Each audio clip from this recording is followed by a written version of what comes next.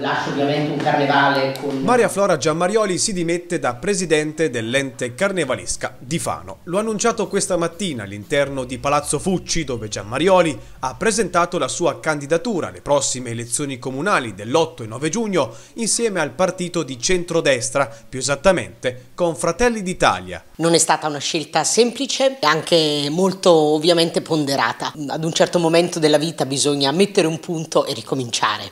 E ricominciare cercando di essere utili alla città e anche al carnevale, spero, se mi sarà data la possibilità, in altro modo. Lascio una carnevalesca eh, e un carnevale di grande visibilità. Ringrazio tutti i collaboratori.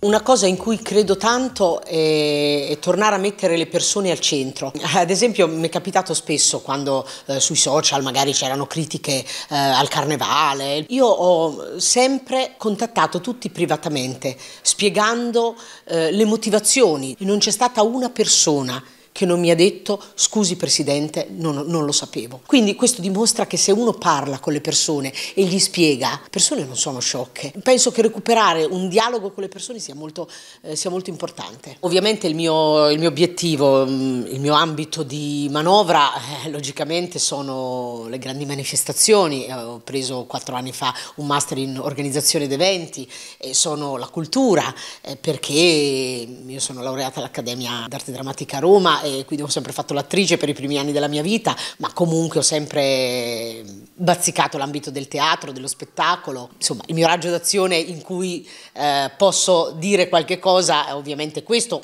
e le pari opportunità. Questi sono i miei raggi d'azione dove posso dire la mia e continuare a, a studiare. Classe 1971, Maria Flora è stata per otto anni consecutivi presidente della manifestazione più importante della città, ovvero il Carnevale, dove negli ultimi anni questo evento ha visto alti e bassi.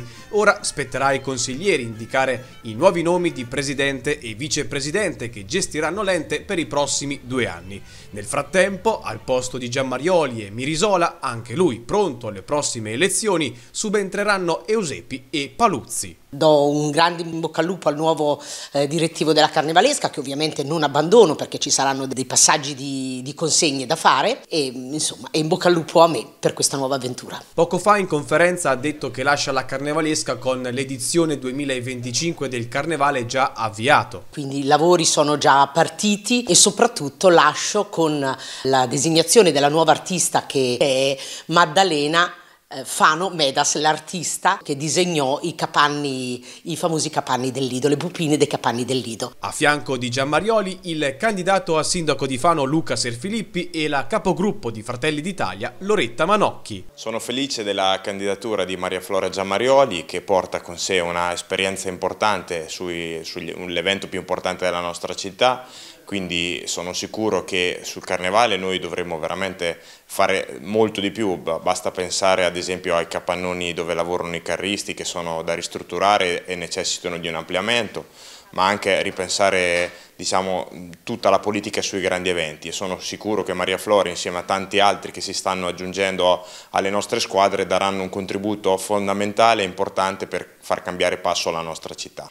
Sono molto contenta e orgogliosa che Maria Flora Giammarioli abbia scelto Fratelli d'Italia quale partito per spendersi e mettersi in prima linea e a vantaggio ovviamente di, di tutto, non solo di tutto il gruppo ma di tutta la coalizione considerando la sua esperienza nell'ambito della cultura, del teatro e quindi sono sicura che riuscirà a portare un eh, importante contributo.